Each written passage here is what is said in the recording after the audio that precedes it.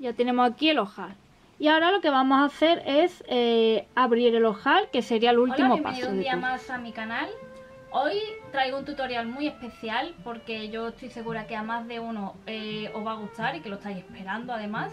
Y es cómo hacer ojales a máquina.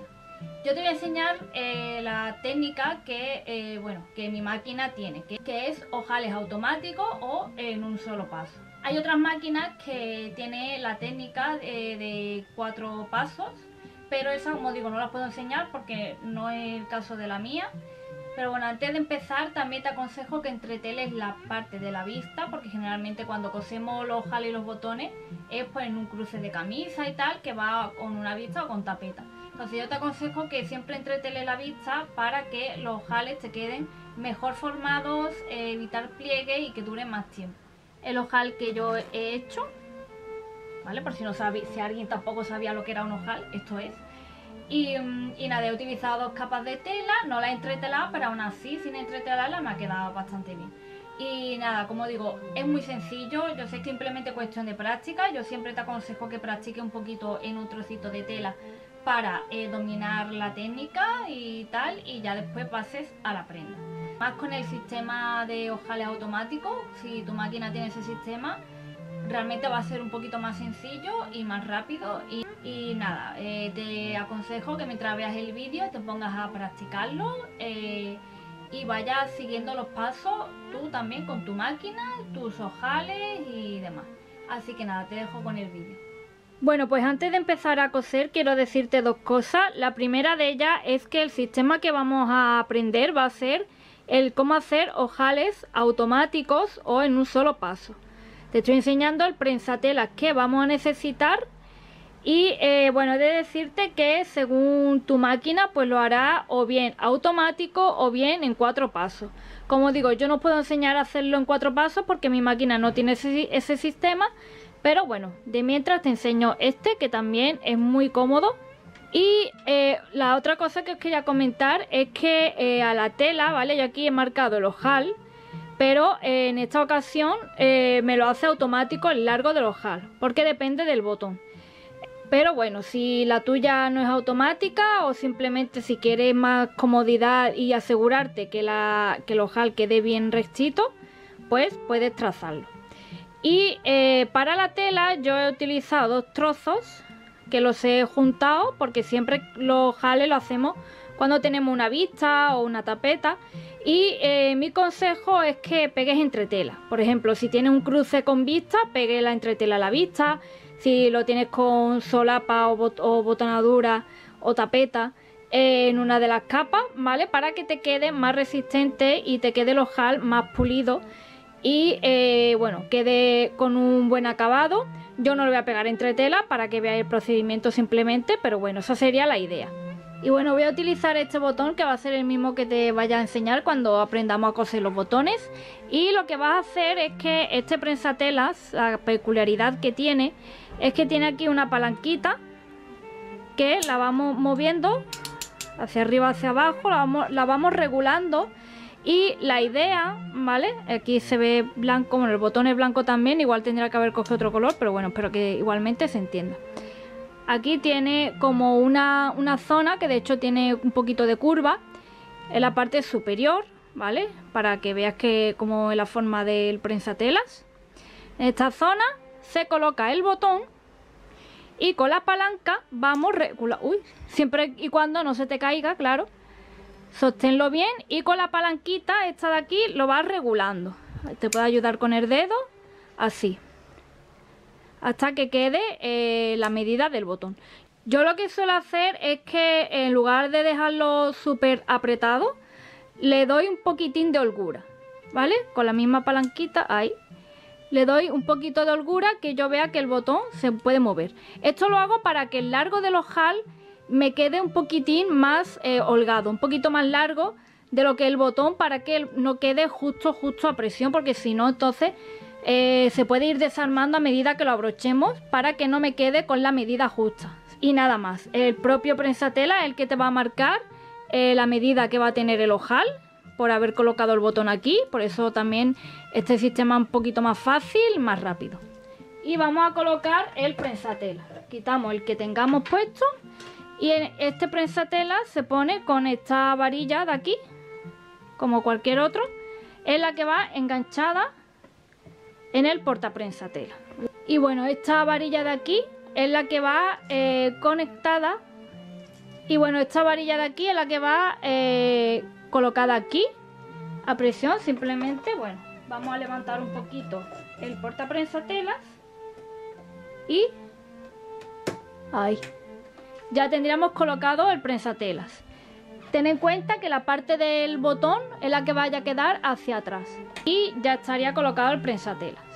Bueno, ahora vamos a programar la máquina para que me pueda hacer la puntada de ojal correctamente. Lo primero es irnos al tipo, a los tipos de puntada y lo vamos a poner en ojal. Ahora en el largo de puntada la voy a llevar en esta zona donde está el dibujo del ojal. Lo voy a llevar lo más pegadito al inicio del dibujo, más o menos aquí, ¿vale? Una cosita así para que me quede, eh, porque el, el ojal se va cosiendo en forma de zigzag. Entonces eso es para que me quede muy juntita las puntadas y me quede lo más tupido posible. Y ahora aquí en el tensor de la puntada eh, la vamos a llevar más o menos entre 2 y 3 para que no esté tan tenso. Digamos que esté un poquito más flojito la tensión y así evitaremos que eh, nos quede demasiado arrugado, ¿vale? Bueno, lo primero que tienes que tener en cuenta es que, bueno, esté correctamente enhebrada.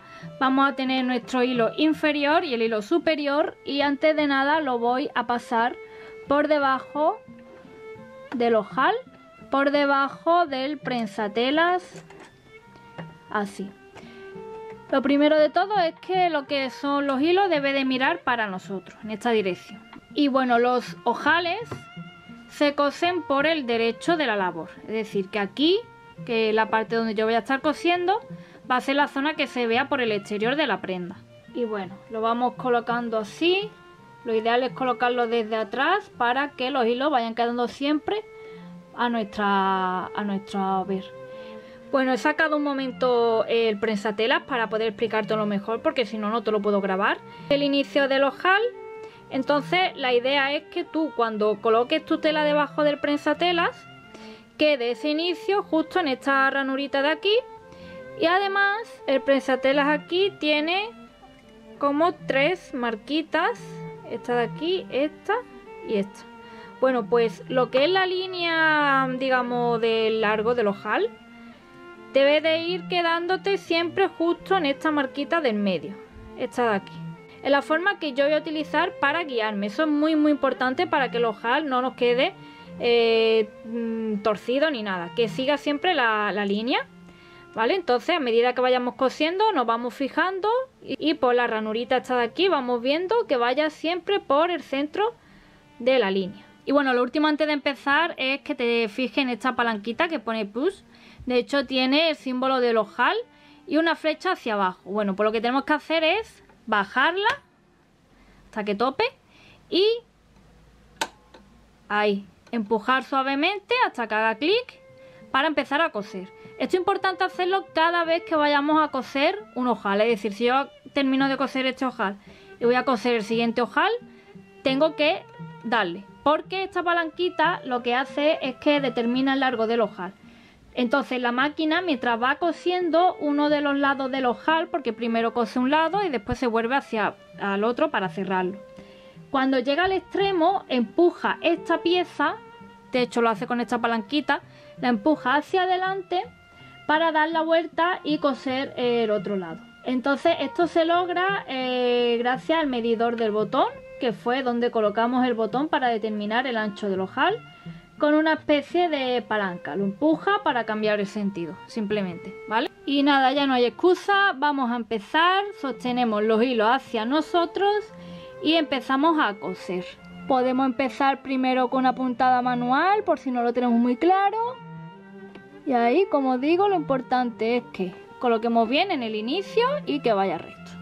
Y nada, ahora sin miedo le damos al pedal y empezamos a coser. Voy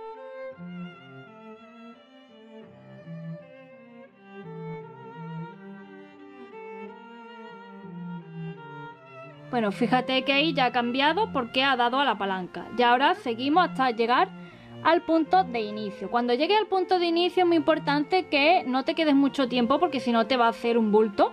Una vez que llegue ahí, que ya el prensatelas no avance, le das como mucho un par de puntadas o tres, ¿vale? Vamos a ir, que ya vamos a llegar al inicio. Ahí, ya está, suficiente. Levantamos la aguja y el prensatelas, retiramos la labor con los hilos y cortamos.